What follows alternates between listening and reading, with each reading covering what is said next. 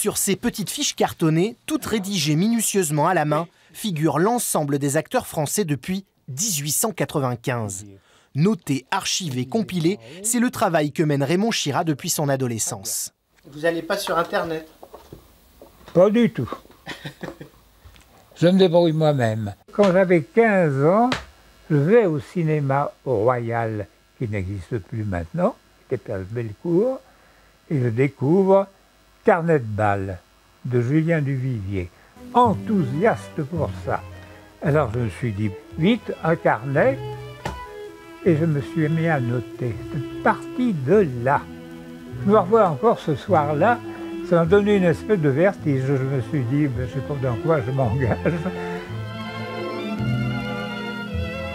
Moi, j'ai découvert le parlant. Le parlant, hein. En, en 30, j'avais 8 ans. C'était formidable.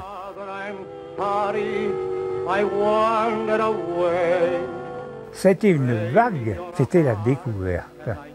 La découverte car c'était non seulement des films parlants, mais surtout aussi des films chantants. Cette passion dévorante pour les films aura fait de lui l'un des plus grands historiens du cinéma français, un des piliers aussi de l'Institut Lumière.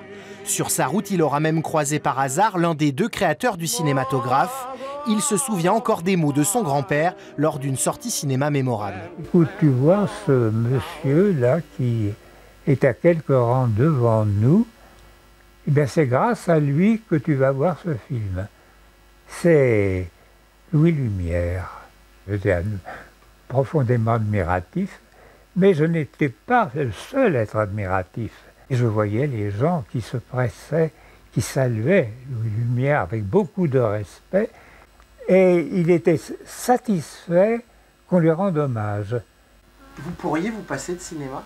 Ah ben non, sûrement pas. Hein. Mais vous vous rendez compte que j'ai fait ça toute ma vie?